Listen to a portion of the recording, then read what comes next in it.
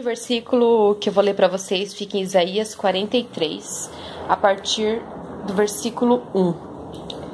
Mas agora sim diz o Senhor que te criou, ó Jacó, e que te formou, ó Israel.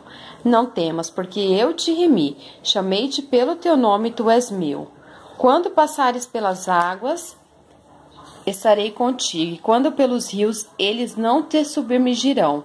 Quando passares pelo fogo, não te queimarás, nem a chama arderá em ti, porque eu sou o Senhor teu Deus, o Santo de Israel, o teu Salvador. Dei o Egito por teu resgate, a Etiópia e Seba por ti. Enquanto fostes precioso aos meus olhos, também fostes glorificado.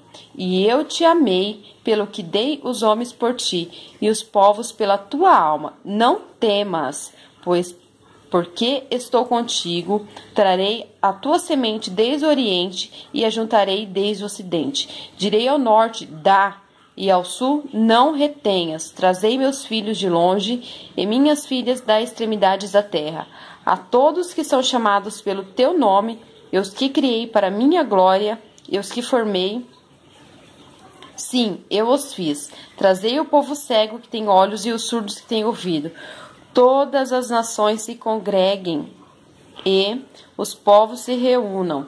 Quem dentre eles não anunciar isso, fazer-nos ouvir as coisas antigas, apresentem as suas testemunhas para que se justifiquem e para que ouça e se diga verdade és. Vós sois as minhas testemunhas, diz o Senhor, e o meu servo a quem escolhi, para que saibais e creiais entendais que eu sou o mesmo e que antes de mim Deus nenhum se formou e depois de mim nenhum haverá. E eu, eu sou o Senhor e fora de mim não há Salvador. Que palavra linda, né, gente? Que Deus abençoe a vida de vocês. Deus está com cada um de nós. Que Deus abençoe a cada um. Oi, amores, bom dia, tudo bem com vocês? Hoje vou iniciar esse vlog, hoje eu vou fazer faxina no meu quarto. Eu quero arrumar todo o meu guarda-roupa. Quero arrumar tudo, tá assim, empoeirado, tá desorganizado, tá bagunçado. Então, eu quero limpar ele inteiro. A última limpeza que eu fiz foi antes da Clara nascer, então tem mais de dois meses. E eu quero limpar ele hoje, deixar ele bem limpinho, limpar todo o quarto, fazer uma boa de uma faxina. E eu quero que vocês acompanhem tudo. É, vou mostrar pra vocês os produtinhos que eu vou usar pra limpar.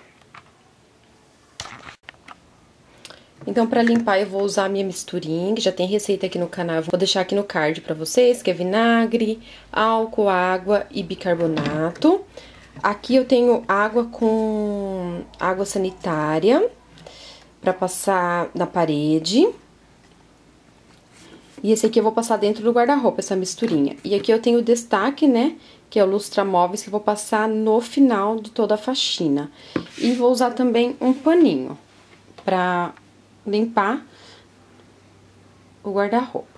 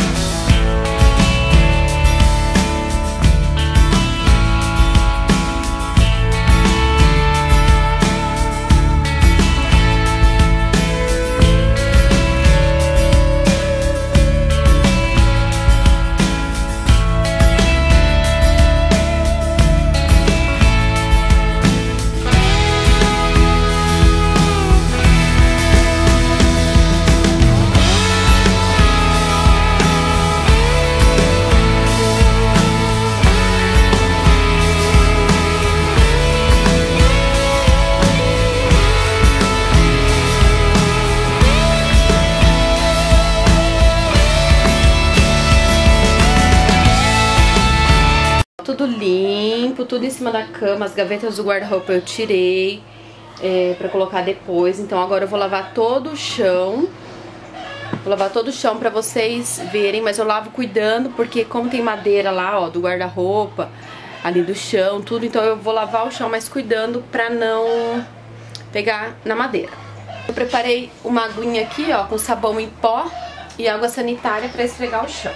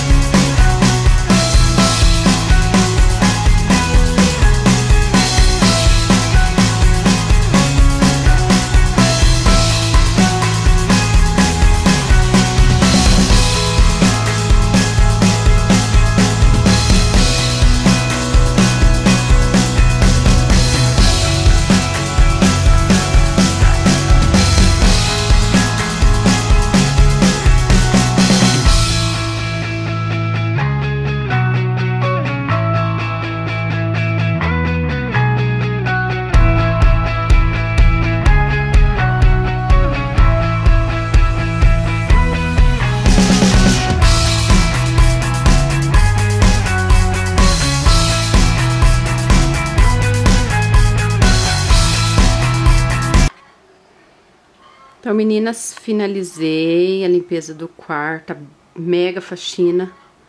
Como diz minha amiga Fran, do Diário da Fran. Beijo, Fran.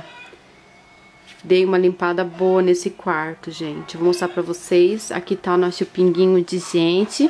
Minha ajudante, minha mais nova ajudante, dormindo. Gente, eu coloquei ela de bruxo porque ela tá bem enjoadinha. Ó, perninha, que dó. Ela não pode nem encostar. Eu coloquei ela de brusco, eu acho que é melhor que daí não fique encostando, sabe? Mas eu tô monitorando ela pra ela, que ela tá dormindo. Mas, ó, finalizei tudo, limpei. Aqui meu home office, dei uma limpada. Coloquei esse quadrinho agora só pra vocês verem, mas eu já vou ter que tirar ele daqui porque a Sara mexe. Ela fica pra lá e pra cá e eu tenho medo de quebrar, porque ali é vidro, ela pode se cortar. Então, aqui tá tudo limpinho, aqui tá meus papéis, aqui nesse scanner fica minha, minhas contas. Se vocês quiserem que eu faça um vídeo desse cantinho aqui, eu posso fazer. Daí aqui em cima ficou meu fone, ficou o grampeador que a Sara também mexe, então ele tem que ficar aqui em cima. Mas eu vou acabar tirando ele daqui, guardando lá em cima no guarda-roupa, porque eu tenho medo dela grampear o dedo. Daí aqui ficou assim, ó, tudo limpinho, passei lustramóveis. A cortina eu troquei, tá, gente? É igual aquela outra lá, mas essa aqui é outra é que ficava duas aqui, dois jogos, mas daí eu deixo só um. Então, ó, limpei o varão, tudo limpinho. Daí as janelas eu limpei com vinagre e paninho. Aqui também, aqui vocês já conhecem, né, o cantinho da Clara. Eu arrumei as gavetas. A da Clara, as duas primeiras eu não precisei mexer, porque são gavetas que toda semana eu tô limpando, passando um paninho. Então eu não mexi. Aquela essa terceira aqui é minha de camisetas e a última lá é de camisetas do meu marido. Então, eu já limpei, ficou tudo organizado. Esse aquecedor aqui eu deixei aqui, mas o lugar dele não é aqui, mas eu acabei deixando ele aqui, que eu vou ver o que eu vou fazer. Daí aqui eu limpei, ó, organizei. Lá em cima fica é, coisa de papelaria minha, bombas de, de tirar leite, ó, inalador, bombinha de tirar leite aqui elétrica, minha caixa da minha máquina. Então aqui é uma bagunça organizada, que ficaram minhas roupas, que eu preciso trocar todos os meus cabides, preciso comprar cabides novos. Aqui ficaram as minhas saias, minhas calças, lá atrás é minha bolsa de viagem, aqui minha bolsa, duas bolsas que eu tenho de sair, que são as únicas que eu tenho e tá ótimo. Aqui ficou o estoque de fralda. Ah, caiu aquela fralda ali, depois eu arrumo. E ó, dois pares de sapato meu e uma pantufa aqui cor de rosa. E dessas fraldas ficam aqui porque não tem lugar onde pôr. E lá fica a minha bota, deixei lá em cima. Em cima ficaram mais pacotes de fralda, roupas de frio, blusas de frio, pijamas lá atrás de frio e de calor aqui. Aqui ficaram shorts, aqui embaixo calças também e lá atrás tem vestidos. Dessas gavetas aqui eu não vou mostrar porque são peças íntimas, tá? E desse lado aqui também, do meu marido, também é peças íntimas. Mas eu vou mostrar esse lado aqui pra vocês, a parte do espelho. Lá em cima ficaram as toalhas, eu coloquei enroladinho assim, que eu acho que fica melhor. Aqui tem essas toalhas aqui, praticamente eu quase não uso, que são essas são grandes assim, sabe? De quando a gente vai pra praia, pra piscina, e eu nunca vou, então ficam aí. Essa aqui eu ganhei da minha mãe é nova, que, esse aqui é um jogo que eu ganhei quando eu casei, que eu nunca usei, tá guardado. Aqui ficou o meu cobre leite, eu tenho só dois, então um quando tá na cama, o outro fica aqui lavado com as fronhas. Esse travesseiro aqui é bem velhinha do meu marido, ele não desgruda disso. E aqui é uma coxa da Sara que não cabe lá no guarda-roupa, eu deixei aqui. E aqui minha bolsinha de maquiagem. Daqui ficaram a cobertinha da Clara, fronhas, lençóis e o meu... Esqueci o nome. Quando tá frio eu coloco ele, mas é muito difícil eu pôr. E aqui ficaram cobertas, cobertas, enroladinhas. Daí quando chegar o inverno eu tenho que lavar tudo de novo. Então aqui as gavetas são peças íntimas, meia, cueca do meu marido. Aqui ficaram as blusas de frio dele, as bermudas de trabalhar, bermudas de ficar em casa e calças de trabalhar. E lá em cima ficou duas sacolas que é tranqueira dele que ele vai dar um jeito. Realidade, né, gente? E aqui ficaram as camisas dele. Lá em cima tem uma bolsa de viagem que cobertor que eu tenho que tirar pra lavar no inverno pra Clara usar, que era da Sara. E aqui embaixo ficou amontoado os sapatos do meu marido. E esse criado eu coloquei aqui dentro, porque ele ficava debaixo da mesinha do computador, tava me atrapalhando muito. Então eu coloquei ele aqui dentro, não tem nada nas gavetas, e eu guardei ele aí. Daí quando o quarto, a gente tirar o berço daqui, daí ele vai caber. E aqui é uma bolsa, a bolsa mochila que eu trabalho, então tem computador, tem caderno, tem as coisas que eu uso quando eu tô trabalhando, né? Mas como eu tô de licença, fica guardadinho. Daqui ficou o outro criadinho. Eu não coloquei nada aqui em cima porque a Sara também mexe. E cadê a Sara? Cadê a Sara? Azul! Tá com sono, né, minha princesa? Eu falei, tô com sono. Cadê a Sara? Cadê a Sara? E daí ela tá aqui, gente. Já vou colocar ela pra dormir. Daí aqui ficou a nossa cama. Eu não troquei o cobre-leito porque eu tinha trocado sábado e hoje é quinta-feira, então não há necessidade de trocar e o berço da Clara. Então, gente, esse é o quarto, a faxina, um tour pra vocês. Ficou assim, aquela dali é minha companheira, tem bastante gente que pergunta, ah, você tem um gatinho? Sim, gente, eu tenho a Chica, a Chica tá comigo já há sete anos, o tempo que eu tenho de casada, ela é minha filha mais velha, né, Chi? E ela é bem boazinha, é uma gata que não sai, ela sai só pra fazer as necessidades dela e vem pra dentro. Só que ela anda por tudo, gente, aqui dentro de casa. Ela sobe em tudo, eu não posso proibir ela. Então ela sobe na cama, ela sobe no passaprato da cozinha, igual tem gente que já falou. Que nojo, mas não. Quem tem gato sabe como que é, não tem como você amarrar ele no chão e deixar ele no chão. Gato, ele anda por tudo. Então, gente, sobre o gato, então é isso, tá? Tem... Ó como que eu tô descabelada.